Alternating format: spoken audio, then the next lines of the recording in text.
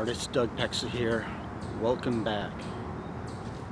This is part two of The Ugly Painting. Part one was last episode, and hopefully part three will be next or the one after. This is a series of a specific painting I got for a commission, and um, I just kind of talked in the first episode on how every painting has an ugly stage.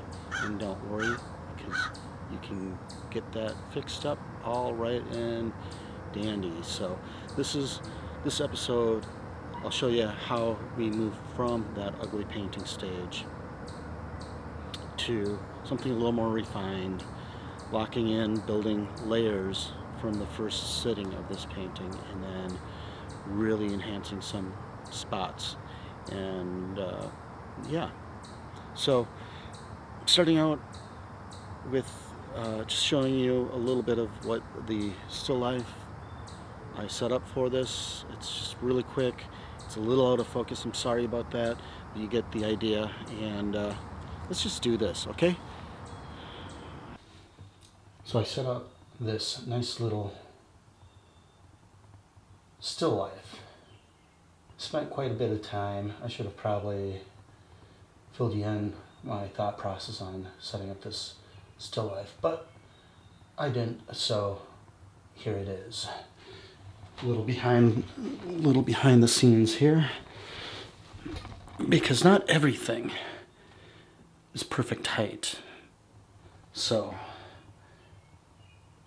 you can see coasters, lens caps, just other random things to kind of prop prop things up because you can cheat in art.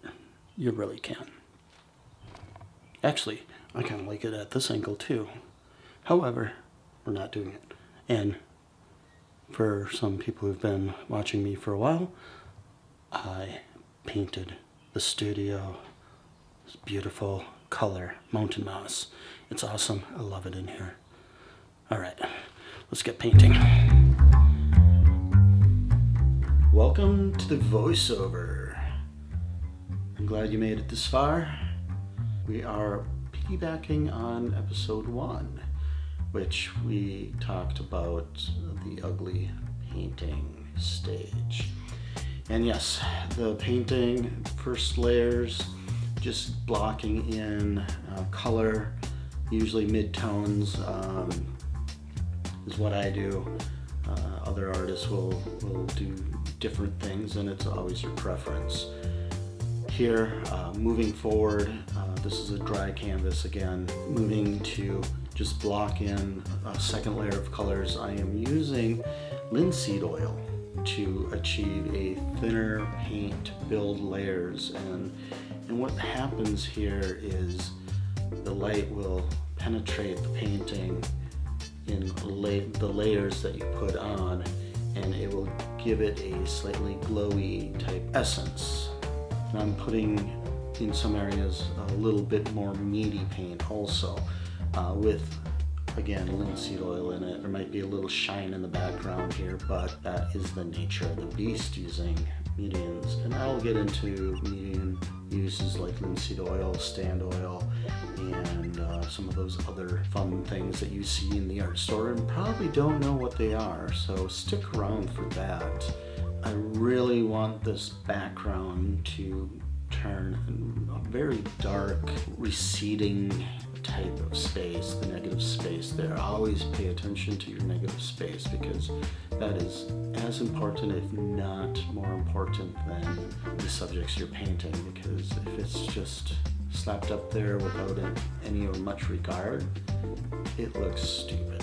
Looking for objects to start pushing into a more realistic view as in highlights and shadows starting to round some of that fruit up and starting to define that little, it's a creamer basically. So we're, we're looking to really start to define those shapes, correct those shapes, and it's easier to do when dry and build layers on top using kind of a meteor paint just so you can really see the edges and you're not seeing maybe the background that wasn't quite right or what have you. Also, jumping around the painting is a very important thing to do while painting. You want to take some of those colors, the same kind of whites, and use them in from the, the creamer to the bowl to um, the highlights on the table maybe even.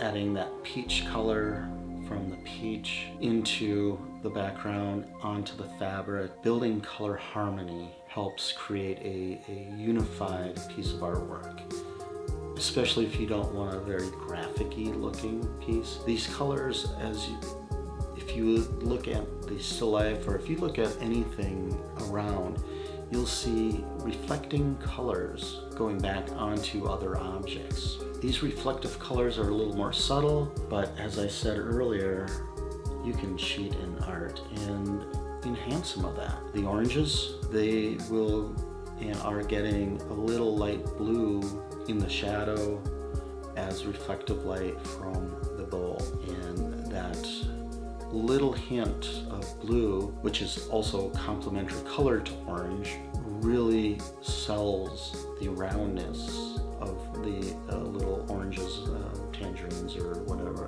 whatever they were. You also see working into the cups and the, the ovalness, and that's probably a, a something we should talk about sometime soon. It's how to make the round in space which turns into an oval. How to make that realistic. There's some techniques, some things you can practice.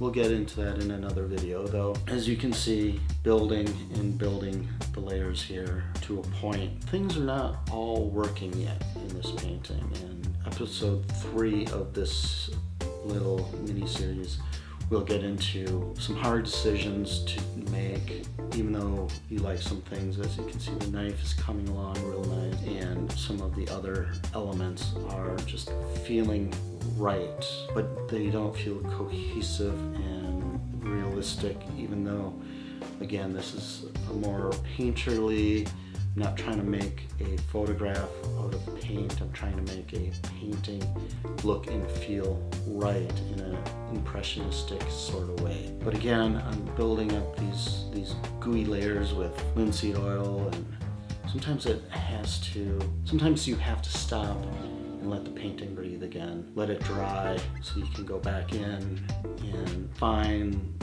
the errors, let it live in your studio, put it on the wall, put it on a bookcase, turn it upside down even. You can see so many mistakes if you just turn the painting around and you're like, oh, that's wrong, or that doesn't look right. This painting is gonna be sitting again on my shelf. Technically it's done and hanging on somebody's wall, but that's a whole nother story.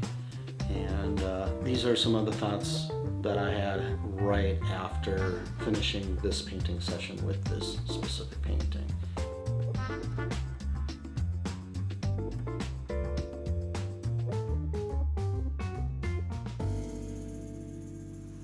So, I'm thinking, I'm losing my light here, but uh, I'm thinking I'm at a point where I want to let this guy dry a little bit. Um, go back in there. I still want some areas darker back here and this little shaker thingy needs a lot of development but I think I need it dry to get that to work. Uh, the picture is coming along, the fruits are definitely coming along.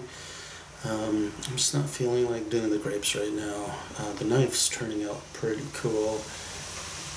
A coffee cup and this little Japanese tea uh, cup still needs a lot of work. Um, this whole background I'm, I'm, I'm liking, but it's still not quite what I want. But uh, you can kind of feel the table and, and all that stuff. So I think it's definitely coming along in a good sort of way. Um, the peach, definitely feeling the peach. Um, but uh, I think it's at a point where I need to put it away. So, I hope you enjoyed this video. Uh, I will finish this up in a new video. So if you want to see the end of this still live, why don't you hit that subscribe button. Um, helps me out a lot. Uh, don't forget to like if you like this. And uh, we will get back to this one.